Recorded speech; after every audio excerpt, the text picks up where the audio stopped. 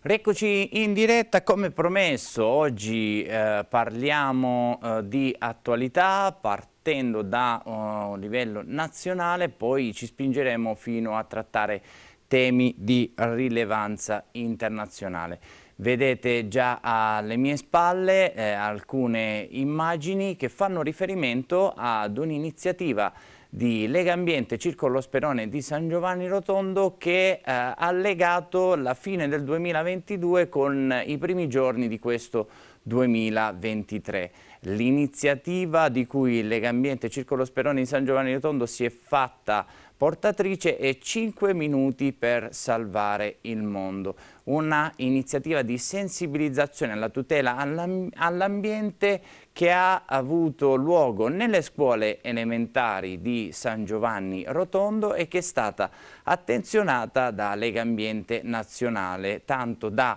vedere la presenza del presidente nazionale di Lega Ambiente Stefano Ciafani. Noi abbiamo intervistato il presidente della sezione locale di San Giovanni Rotondo Antonio Tortorelli e il presidente nazionale Stefano Ciafani per cui prego la regia di inviare questo contributo video. Allora,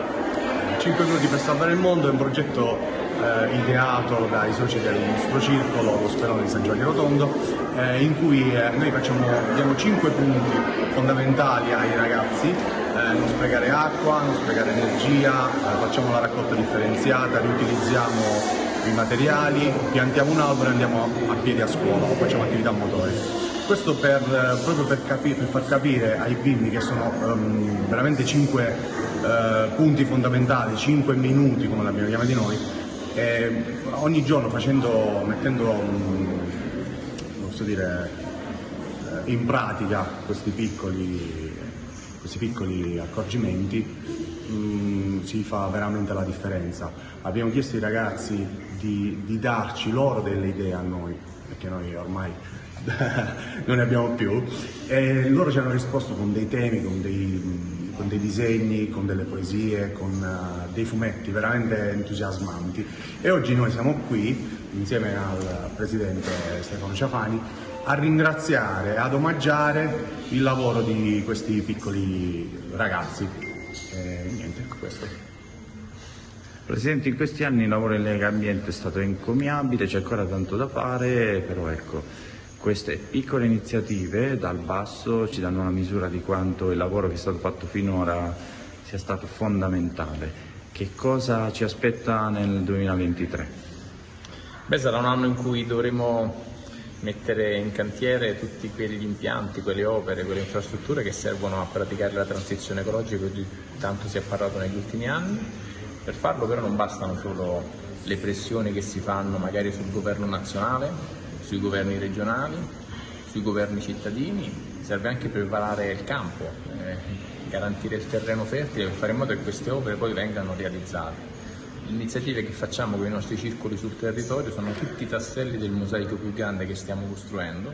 e fare iniziative nelle scuole come questo bel progetto del circolo di San Giovanni Rotondo fatto nelle scuole elementari, oltre agli altri progetti che stiamo facendo in questo territorio è il modo migliore per convincere anche la comunità eh, territoriale che oltre a chiedere le cose poi bisogna fare in modo che le cose si facciano e per farle bisogna garantire che ci sia dire, quella coesione sul territorio per fare in modo che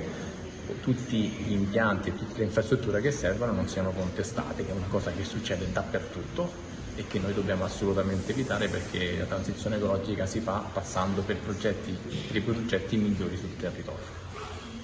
Basta veramente poco per uh, dare il nostro contributo a tutela dell'ambiente, 5 minuti per salvare il mondo è un'iniziativa nata proprio per restituirci questa consapevolezza. Piccoli gesti quotidiani come eh, lo spegnere la luce quando non ci serve, interrompere il flusso d'acqua corrente quando non la stiamo utilizzando, eh, che possono ecco, aiutare il nostro ambiente a tirare un respiro di sollievo. Parlarne con i ragazzi delle scuole elementari è stato molto bello perché eh, i responsabili del progetto ci eh, hanno detto come i bambini siano stati molto attenti e reattivi nel rilanciare eh, anche nuove iniziative, altre iniziative a tutela dell'ambiente per farsi portavoci e ambasciatori appunto di queste buone pratiche a tutela dell'ambiente. In un momento eh, storico in cui il tema della tutela ambientale è molto alto anche perché i cambiamenti climatici in corso ci fanno riflettere su quanto sia importante anche gestire, non solo tutelare l'ambiente ma anche gestire al meglio le risorse che abbiamo